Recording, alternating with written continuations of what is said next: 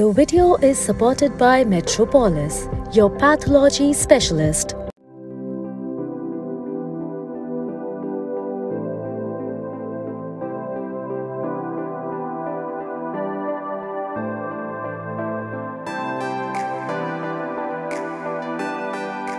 Hello, friends. I am Dr. Anita Singh, and today we will talk about methods of detecting and preventing cervical cancer. Cervical cancer affects the cells of the cervix in females, which is the lower part of the uterus that connects the uterus to the vagina. When the healthy cells in the cervix develop mutations in their DNA, and after their composition, it leads to cancer. Screening tests help to detect cancer related abnormalities in the cervix, and these tests also help in diagnosing cancer even before it has shown any signs or symptoms.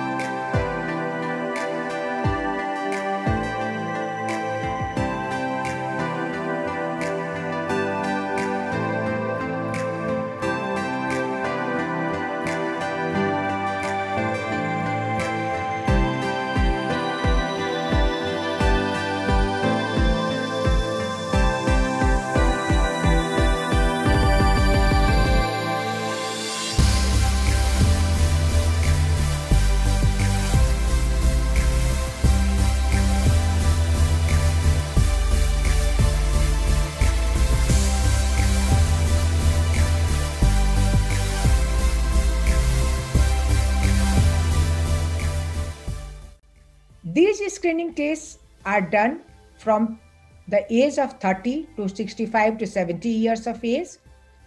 Negative tests are repeated at 3 years in pap smear and at 5 years in case of HPV culture. These tests can detect changes in the cervix which can progress to frank cancer in next few years in some cases and that depends upon severity of the changes found in the screening. Early precancerous lesions, if detected on screening, can also be managed by simple procedures. These screening methods can also detect cancer at very early stage before the woman develops any symptoms or signs. And at that stage, the disease is completely curable by proper management.